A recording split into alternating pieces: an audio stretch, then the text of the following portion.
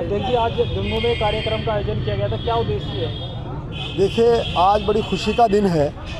कि Muslim Gujjar education welfare society ने, जैसा कि पिछले कैराने में जो पहली मीटिंग हुई थी और उसमें दो चीज़ों को लेकर, इरफान भाई और जो उनकी पूरी टीम थी, तालिब भाई और नौशाद भाई, पूरी टीम जो है मुस्लिम एजुकेशन वेलफेयर सोसाइटी से जुड़ी हुई है, उन्होंने निर्णय लिया था कि हम समाज के शिक्षा के लिए कुछ काम करना चाहते हैं। उसमें इन्होंने पहले लाइब्रेरी हमारे वकील साहब इरफान भाई, इन्होंने लाइब्रेरी का प्रस्ताव रखा कि हम कैराने में लाइब्रेरी की व्यवस्था करना चाहते हैं ताकि हमारे बच्चों को बुकें उपलब्ध हो जाएँ और वो फ्री में तालीम हासिल करें। दूसरा उद्देश्य था कोचिंग का, क्योंकि कोचिंग भी एक महन मेन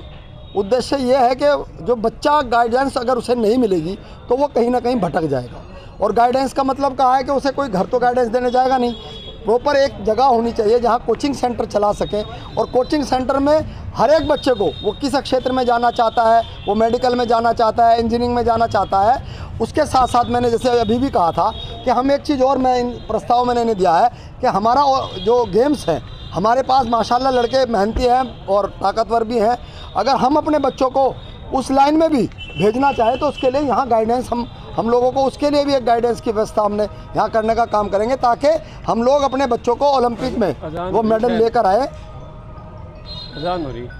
और वो लोग अच्छे से अच्छा काम करने के लिए इस देश का नाम रोशन करें अपनी बिरादरी का। और चूँकि ये गंगवा क्षेत्र है और यहाँ पर मुस्लिम गुज्जर बहुल्य क्षेत्र है और यहाँ पर इस तरह का कोई काम नहीं किया गया था तो ये बहुत बड़ी उपलब्धि मैं कहूँगा इसको इस कमेटी को कि इन्होंने यहाँ इस काम को कर कर समाज के लिए एक ऐतिहासिक ऐसा काम किया है, जो वाकई में आने वाली नस्लें भी इस चीज़ को याद रखेंगी। और ईमानदारी के साथ जब ये एक कोचिंग सेंटर यहाँ चल जाएगा तो मेरा मानना ये है कि हम लोग अगला पड़ाव हमारा, चाहे वो सरसावा या चिलकाना हो, उसके बाद भेंट हो, यही संस्थाएँ हर जगह, हर एक विधानसभा क्षेत्र में उन कोचिंग सेंटर खोलने का काम और डिग्री, जैसे पिछले कार्यक्रम पीर माजरा में चौधरी अयूब जंग प्रमुख ने पंद्रह बीघे ज़मीन इंटर कॉलेज के लिए दी बधाई के पात्र हैं। आज समाज में ऐसे ऐसे लोग एजुकेशन के लिए बलिदान देने के लिए तैयार हैं और समाज अपने बच्चों के भविष्य के लिए चाहता है कि उसका बच्चा अधिक से अधिक